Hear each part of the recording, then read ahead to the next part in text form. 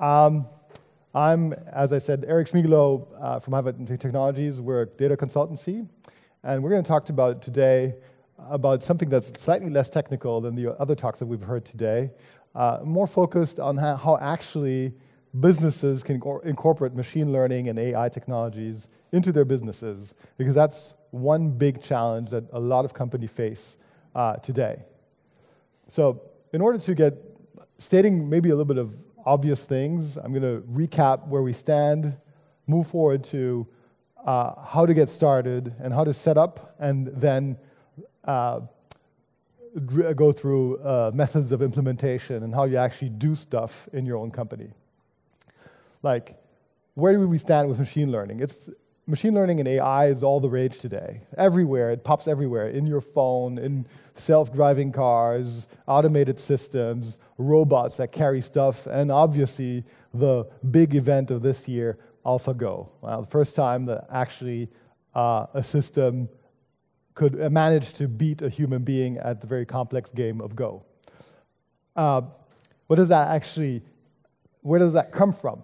The, the large companies, large data inc incumbents, Google, uh, Facebook, AWS, and all them, have invested enormous resources in developing AI systems, while new businesses threaten old business models with data driven approaches. Think Airbnb and the hotel industry.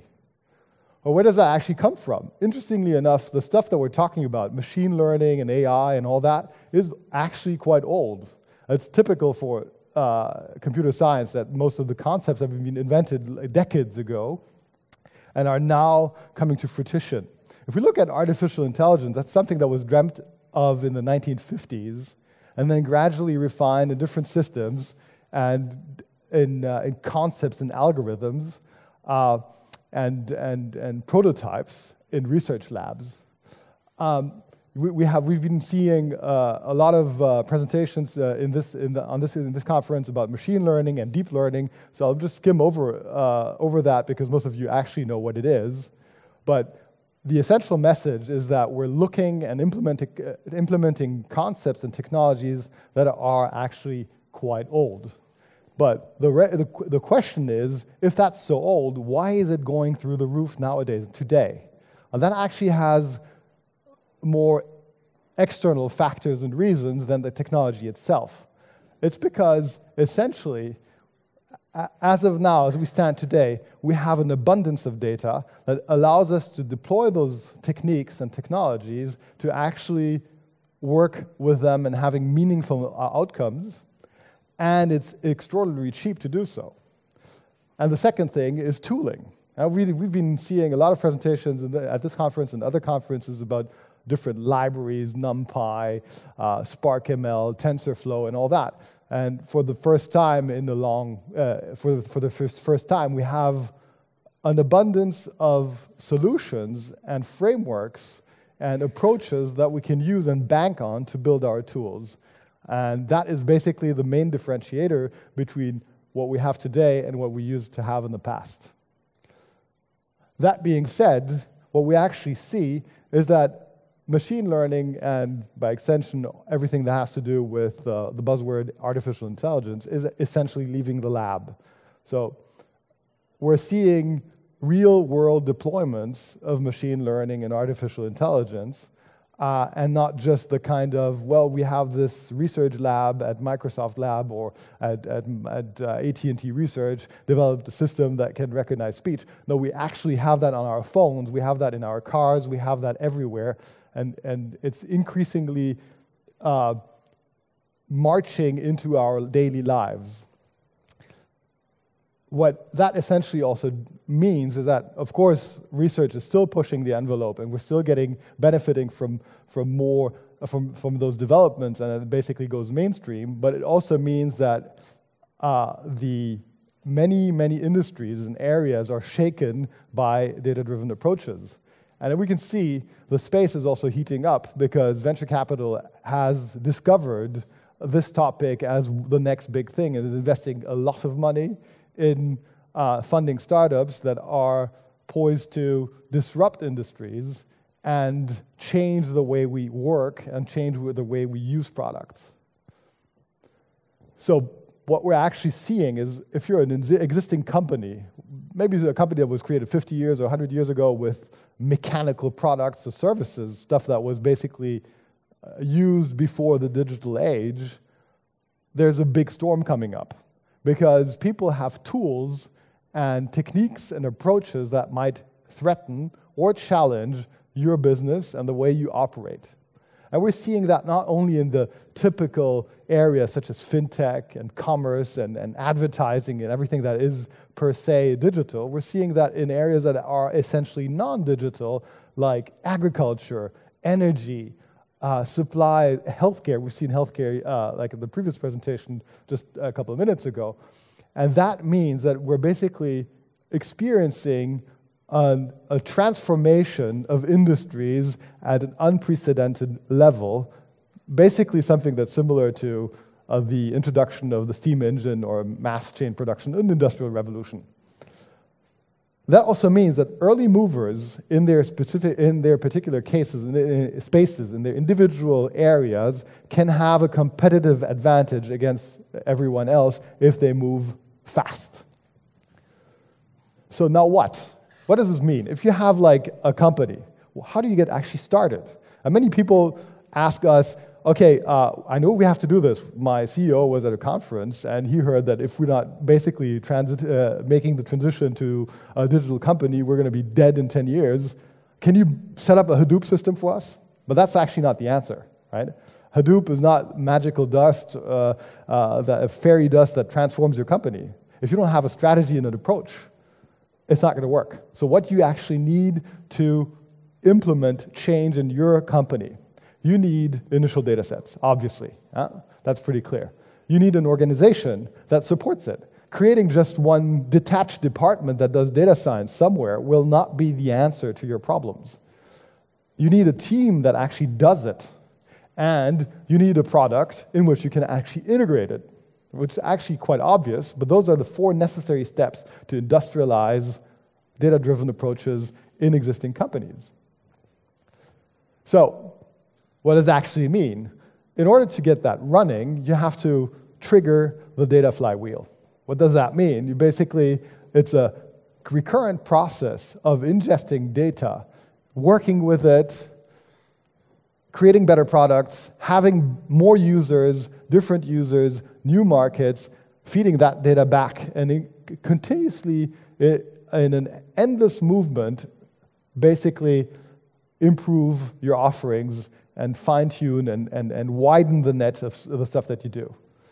Essentially, how you actually get started is you have to identify a use case. What is your primary use case? What can you actually do? What is immediately connected to your existing business? Where can you actually collect data?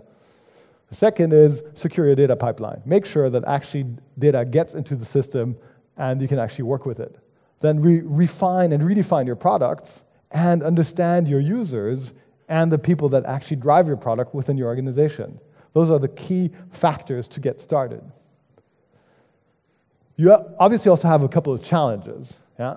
First of all, it's pretty clear as because it's a flywheel, you have to iterate multiple times. And it's not going to be a, an instant success, it's something that's going to work immediately out of the box. So you have to have the, the, the courage to, to face issues and to, to, to deep dive into the problem and repetitively retrain and reprocess the data until you get it right. Start for that, and you have to smart, start with small use cases that actually work and that you can control. And you also have to manage expectations. Because as I said earlier, if your C level executive came on the scene and said, We need to do something, or otherwise we're going to be uh, dead in 10 years, his implicit expectation is that you basically create a magical system that does everything and it works out of the box and you're basically the king of the world. That's not going to happen. So you have to manage the expectation and you have to explain that we're basically experimenting and, and slowly and gradually uh, getting into into the business of, of, of data driven uh, approaches. You have to also help users and management understand the issues that you will face and the challenges that you will face and the problems that you can actually tackle with machine learning approaches and which you cannot, right? So, essentially, This involves four steps. First of all, data collection. That is key. If you can't control the data and you don't have an automated recurrent process that ingests this data into your system, it's not going to work. Then you have to have a process that measures and explores that data. Because necessarily, most companies have KPI monitoring systems that work perfectly well, but that's basically instant snapshots of what's happening. Data collection is more than that. So you need to explore the relationships that weren't known before. You need, need to explore the, the, the intricacies of your data sets, and you have to try to plot and understand what that actually means. And then obviously, once you have that, once you have that, when you're done with that exploration, you classify and train and try to, uh, to uh, apply predictions and models to your data sets. And essentially then apply those models to your business flow and your products. Okay, that is basically on an abstract level the four steps that you need to do. And what it actually entails means that you also have to have an organization that supports the process. So you have to identify your users, you have to integrate the data suppliers, you have to make sure that, uh, that levels, satisfaction levels are defined with existing systems and processes and what the integration actually entails. And you have to inform and win over uh, stakeholders. In larger companies where you have multiple departments that all have their basic data ownership, they're not going to relinquish control unless you actually inform and you win them over and they actually see a benefit of being part of that process. And of course, that's also very important in our space legal and privacy issues. We're going to see a massive expansion of regulatory measures in data privacy and, uh, and security. Uh, so we need to be sure that we have the right legal framework in place for exactly those things. In order to have the organizational firepower to do that, because that also uh, Im implies talking to a lot of people and still focusing on the task at hand, you need to create a, data, dedicated data team. I mean, that's pretty obvious for most of us the, at this conference, but it's not exactly clear to everyone else in larger organizations because they basically, basically still have the habit of asking a vendor and having a vendor install software and then it should run, right? But that doesn't work like that. So an effective data team actually has two different roles. All that is also obvious to you, I understand that, but let's just say, for the sake of, of, of being clear, we have two roles, that's the data scientist that's a math, PhD kind of statistics guy that, under, that has the capability of understanding data and exploring relationships in data. And then you have the engineers. And the data engineer is a role that is essentially a person with a software development background that understands the challenges of data and data processing and can build system and automate stuff that the data scientists come up with. Those two roles are extremely important to ensure success in a data team. Of course, everybody's dreaming of having the magical unicorn person that ha has both skills in one, but that's probably going to take a while until that happens. So until then, we're going to have to work with having two people with two different roles that actually work together. And at, at some point, they're going to meet in the middle. Setting up a team also needs requires a few things because as i said it just doesn't work to have like a department that is like somewhere and is not integrated in the organization. Make sure that the other data suppliers relinquish ownership to the data team. They actually understand that it's vital for the process that these people have full access and continuous access to data records, and not just involving like, oh, we're going to update our quarterly reports to you guys, and we're going to put it on an FTP server as in CSV format, and you can download it from it. No, we want to have, we need a continuous flow of data. Super important. You need a data ingestion pipeline that works and supports that because if you're not, you don't have a continuous data flow, um, it's never going to work. Ha we had an example of a company, a transportation company. They were trying to plot uh, the, uh, the um, arrival dates of their transport, uh, the, their, of their transportation means, and they were giving us data that was three months old. And we told them that just doesn't work like that. I mean, if we don't have actual, we need historical data, that's actually also important, but if we don't have current data, we can't plot anything. Three months old stuff is totally stale and has no value. Um, data science and data engineering, we talked about that. Explore, uh, data science has the task of exploring uh, uh, relationships, and the data, uh, data engineering is basically uh, for engineering automation processes. Lastly, once you have that, you actually want to focus on evolving your products. And involving your products means that you have to hook the value chain, every bit of your value chain, with the data team. Because that will give you support metrics and KPIs and data exchange between the data team and your value chain. That allows you to identify possible opportunities to improve a process, to streamline a process, or to reinvent additional services and, and, and solutions on top of your product and value chain. But it also gives you the, uh, the ability to save money by identifying um, um, uh, like uh, inefficient uh, processes or uh, aspects of the value chain and maybe replace them with automation.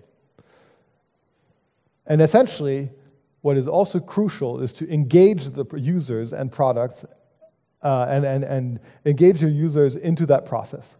Because only them, only the users can actually ensure that whatever you do with your data approach will actually work.